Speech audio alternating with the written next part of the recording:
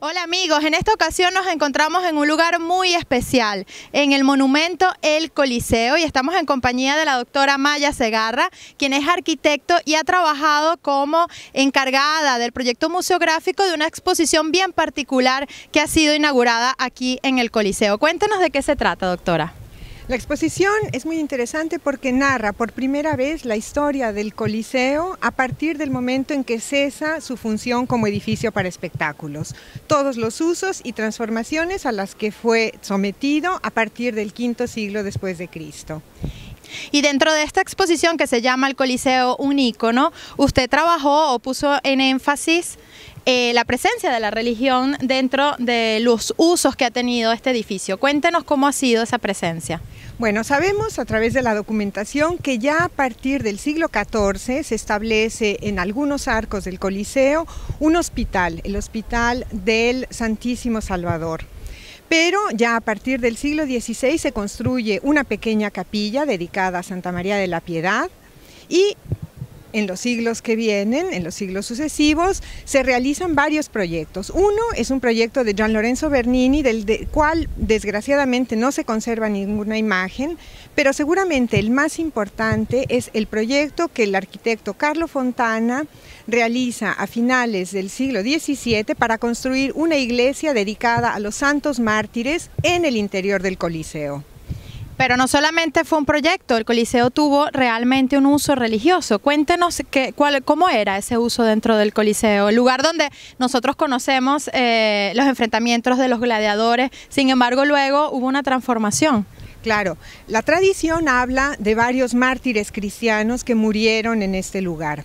Y ya a partir de finales del siglo XV se empieza a llevar a cabo en este lugar la representación del Via Crucis. Esta representación se va institucionalizando, se va volviendo cada vez más importante y será seguramente con el jubileo del 1750 cuando el Papa Benedetto XIV mm, decreta que este lugar es un lugar sagrado, es un lugar cristiano con la construcción de las 14 estaciones o de las 14 eh, altares del Via Crucis. Y justamente detrás de nosotros tenemos una de las novedades que presenta esta exposición, que es una de estas estaciones, pero yo quisiera que usted nos explicara qué es lo que tenemos detrás de nosotros.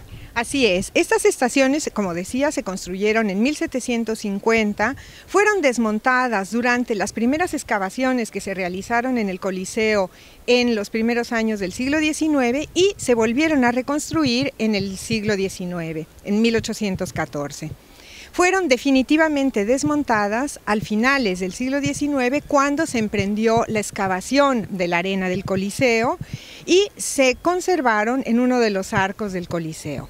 Nosotros hemos tomado algunos fragmentos originales para proceder con esta reconstrucción para dejar un testimonio en ocasión de la exposición de este uso cristiano que fue tan importante durante varios siglos en el Coliseo.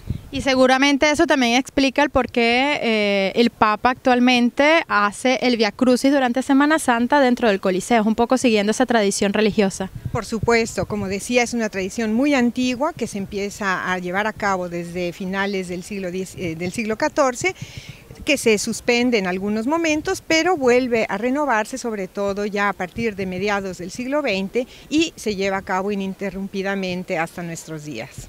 Doctora Segarra, esto es una pregunta eh, que no había sido acordada, pero creo que me parece importante. ¿Cómo una mexicana se encuentra dentro de este proyecto tan maravilloso?